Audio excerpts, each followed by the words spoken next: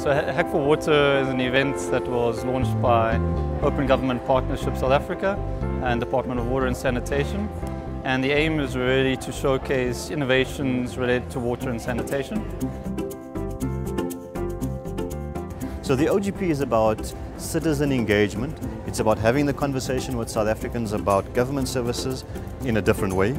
And what excites us about Hack4Water is that we, we bring in the water sector and the water sector players, but we also bring in the OGP communities that we work with.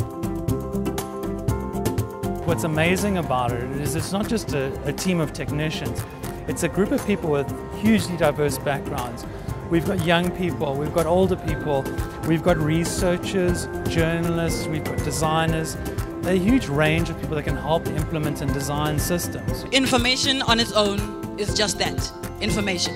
It's not enough for uh, intervention. So this is our question. As a school, what's your water story, your water journey, your sanitation challenges? We want to know about them and we want to see them, upload them on our app that we spoke about. We've seen some examples of apps that perhaps can help elicit, in, you know, get input from, from users, but this, it's, it's hard motivating people. Now, smart meters, as will be presented, they're, they're ingenious um, devices that are able to wirelessly or remotely connect and pump a lot of data in real time. And so what we propose as the data science team is the creation of a tool for municipalities for the oversight and monitoring of water usage at a granular level. And we can have a breakdown of various ethnic usage, age groups, and this, is, this can be readily assimilated from things like census records. Uh, if you look here, you'll see at the top it shows you water flow. Um, the second line it shows you the total number of liters that have passed through the uh, flow meter, and then it, we calculate the total cost of um, that total amount of water. The ideas coming out of the hackathon were awesome. Uh, they only had two days to work on something. So they had uh, a little bit of prep to think about some of the issues in the sector, but otherwise they had to build from scratch. So the game is called 2 Smart Safe. And when you start the game, you present it with different tanks and the tanks start leaking. So you have to click on a tank before it leaks. And as, and as you click on it, you get points. And then we have a leaderboard and you get to compete against your friends. So we really make it social. So we've come up with a mobile application. Say, for example, there's a leaking pipe at a hospital or somewhere, then you take a picture of it, and then once that's done, it's submitted. We have a dashboard which will be used by the department where they're able to monitor all the issues that are reported, and then they're able to proactively then place artisans at the different locations so that they're better able to deal with the issues as they've been reported. Water might seem clean and clear, and you can think that you can get rid of everything by just boiling it. But there are other things. So we thought, okay, let's develop an app.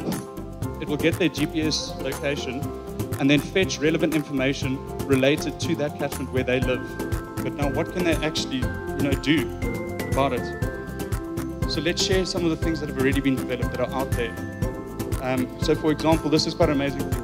There's LifeStraw. One straw can treat up to 800 liters of water and then once again, using their GPS location, be able to tell them this is the nearest clinic, this is the nearest realtor that you can go to and get your straw. This is exactly where the industry should be headed. Every agency out there with SALT is talking about being a partner. And if you really want to be a partner and show businesses that you can help them crack the big ideas, solve the big problems, this is the forum to do it in. I introduce you now to Cloud H2O. This is a glass reinforced pipe and what we are going to be doing is laying down a fiber, fiber optic cable that has pressure sensory nodes and that would be able to monitor the flow and the pressure of the water within the infrastructure itself. The data collected by the nodes would be sent onto a cloud platform that will be able to be communicated to the local authorities. Our solution is called Waves. Basically, it's a mobile app that anyone can download for free. In here, he's able to add in the amount of taps, the amount of showers in his house, the amount of bath, toilets, his monthly water bill. We then calculate. So then it'll give you your current water usage is 45 kiloliters, and 500 rand is an example. And your goal should be 15 kiloliters at 200 rand.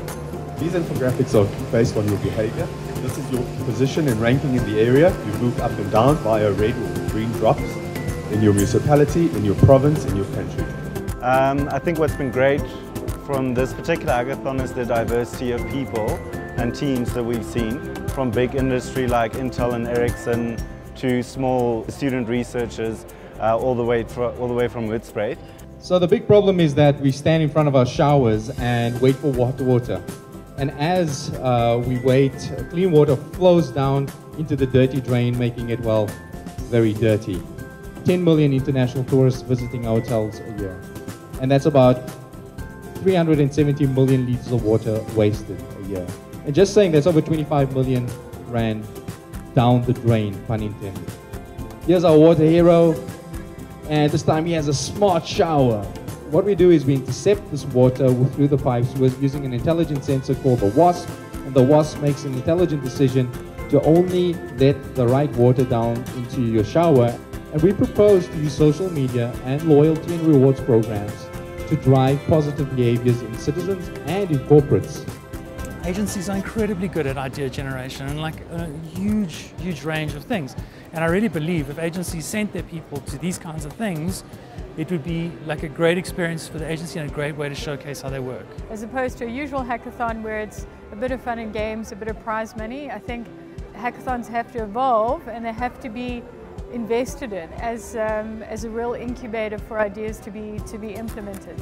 And ladies and gentlemen, the winner of the hackathon 2016, sponsored by the Department of Water and Sanitation, is none other than Prospero Waves.